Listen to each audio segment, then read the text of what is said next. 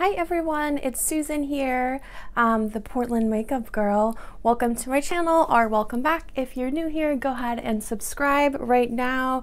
Like this video, give it a thumbs up, comment, do it all.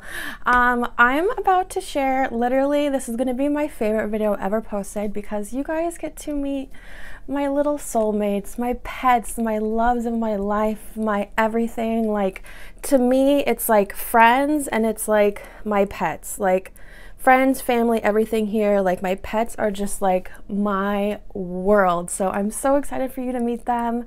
Um, I'm going to go through each one and tell you a little bit about their story. So, here we go.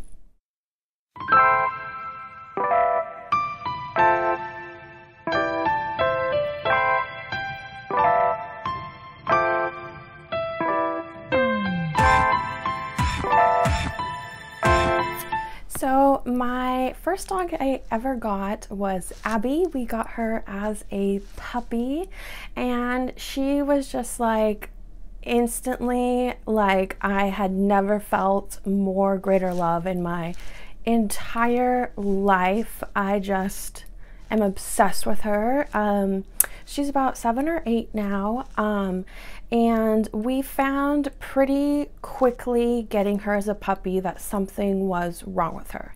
She couldn't always walk. She would just walk and then go completely limp in her back legs.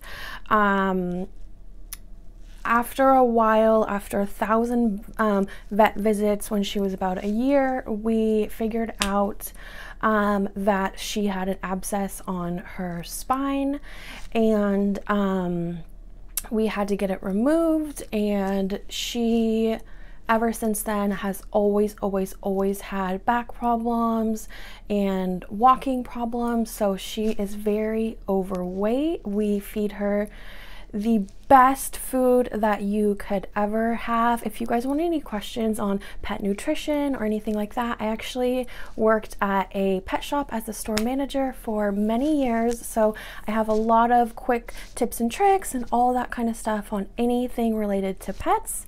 Um, but yeah, so please no comments below on Abby's weight or anything like that because my family knows that she's overweight and it's something that is very heavy on our hearts. And once we found that out and everything, we contacted our breeder. It, um, our vets told us that it was a genetic issue, um, something that's passed um, down from her parents that she genetically got. So our breeder offered to give us another puppy. We still get Abby, we still got to keep her, um, but we got to get one of her sisters. So the next dog that we got was Little Bits, and she has always just been like the craziest, most loving, sweet dog ever, but definitely the craziest. Um, a little bit into having, or sorry, not a little bit into having her, but after a couple years, um, my parents like lifelong dream, something that they've always, always wanted to do is have puppies. Again, please no hate comments. Like, I know adoption is like so, so, so, so important, but this this was my parents' um, choice to do that, so um, please don't come for me. Um, but yeah, we um, little bits had puppies and um, we got to keep one of the puppies and that is the story of Molly our next dog so Molly is um, I think she just turned two this year she is like the love of my life. Like, I'm literally so, so, so obsessed with her. She's so fun. She's so crazy. Um, when we first got Little Bits, which is um, the second dog, we actually got a kitten at the same exact time. We adopted it, and um, his name is Georgie. So he's the same exact age as Little Bits. They're only a few days apart, um, and they got to grow up um, with each other. So um, I hope you guys enjoy those pictures. They're like literally my favorite pictures ever, uh, just because they're so, so cute. Um, and probably, I think around January, I started getting super, super fish obsessed. So I have two aquariums right now. One I am getting rid of and condensing um, because if you have an aquarium, you know how much work it is. But I have one fish who's blue. He's a dwarf Gourami. He's super cute. He looks very majestic and blue and so pretty. I have two catfish that just hanging out the bottom. One is pink and one is like a gray toned one. I think he's a green Cory if I remember right. Um, and I have four blue tetras, which blue neon tetras.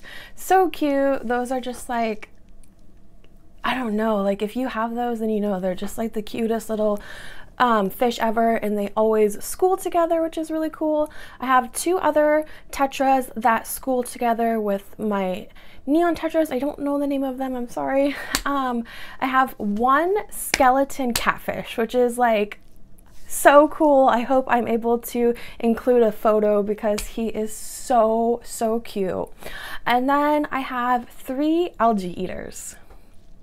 And I think that's all the pets I have. Right now I have one um, betta fish that I'm gonna be um, rehoming to my friend. Um, his name is Brian. I love him dearly from the depths of my heart. But like I said, it's just too much work to have two huge fish tanks. So um, he's gonna have a lovely new home at my friend's house. Thank you guys so much for watching this video. If you haven't yet, go ahead and subscribe and then like this video. Um, I post content all the time.